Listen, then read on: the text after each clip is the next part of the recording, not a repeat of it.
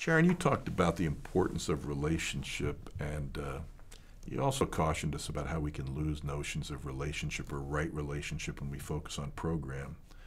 But when you expanded on it a little bit, it became obvious that this might be easier to do on small scale rather than large scale.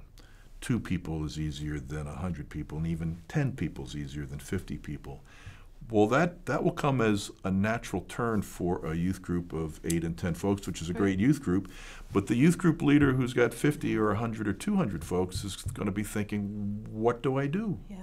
What, what, what does a person who has a ministry at scale do to create the kind of intimacy that Yeah. f- funds the relationships you have in mind? Yeah, and maybe first even a clarification in that. And if it's just small scale, when are we ever reaching out to kids that are disconnected from the church? Mm-hmm. Um, so it mm-hmm. can't be just about this self focus, internal focus of mm-hmm. the community itself.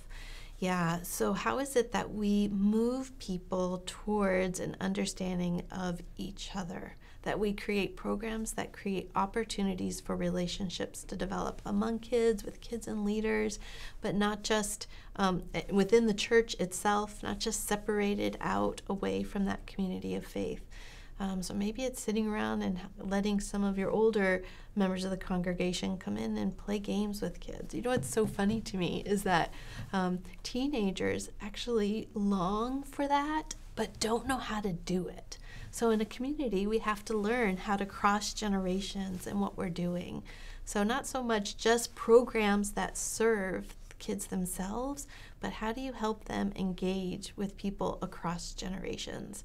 How do you help them work on relationship development with each other?